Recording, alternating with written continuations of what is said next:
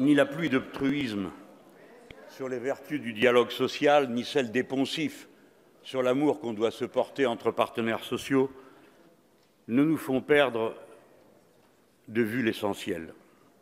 Dorénavant, si votre processus aboutit dans le domaine social, la loi n'est plus la loi et elle n'a pas le dernier mot puisqu'un simple accord d'entreprise, voire d'établissement à l'intérieur d'une entreprise, peut la défaire. Le principe de faveur qui a animé tout le droit social depuis le début est inversé. Nous voici revenus, mon cher collègue, à cette époque du XIXe siècle que vous évoquez car la bataille pour le Code du droit du travail a commencé le 14 mars 1896, lorsque le député socialiste Arthur Groussier, qui était assis ici, à côté de Jean Jaurès, déposa pour la première fois une loi qui proposait que l'on codifie, les questions sociales.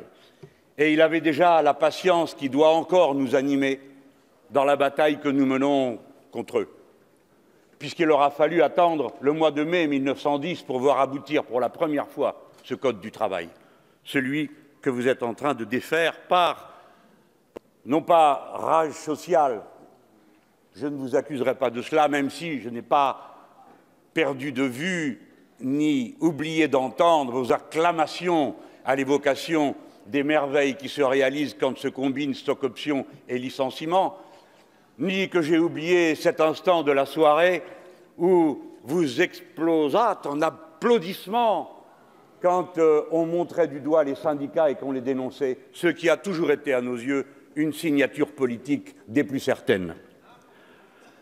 Non, vous croyez sincèrement que moins il y a de droits, plus le marché, par la main invisible qui le travaille, va allouer correctement les biens et le marché va permettre que se développe la production.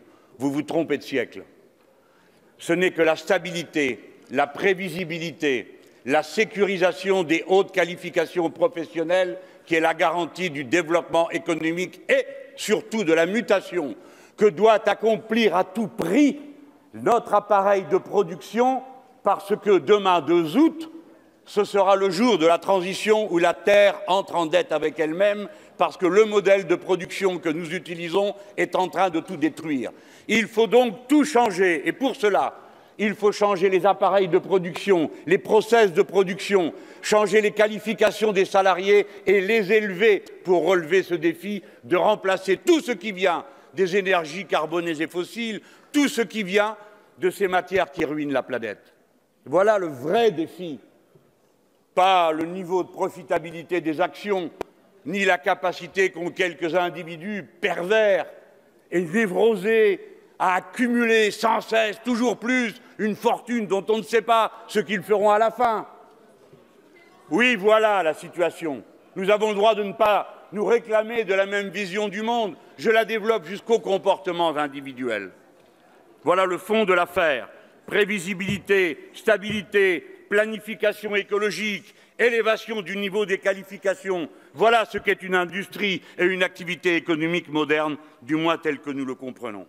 C'est pourquoi nous qualifions, après avoir mesuré nos mots, et nous avons essayé de vous le démontrer tout au long du débat, ce que vous venez de faire et que vous vous préparez à faire de coup d'État social, puisque c'est un renversement de la hiérarchie des normes. Et dans ces conditions, c'est avec conséquence et respect de ce que nous disons nous-mêmes que nous vous l'annonçons. Nous ne vous lâcherons pas un mètre de terrain aussi longtemps que la discussion et le rapport de force seront possibles. Ce qui ne se règle pas à l'amiable se réglera dans les rapports de force. Nous ne lâcherons rien. Nous appelons à rejoindre l'appel des syndicats. Nous appelons à manifester le 23. Et nous disons aux braves gens à ceux qui n'ont que leur travail, à ceux qui n'ont que leur travail pour vivre, nous leur disons Défendez-vous, braves gens, ne vous laissez pas faire, regardez-les, ils parlent avec un fouet dans la bouche.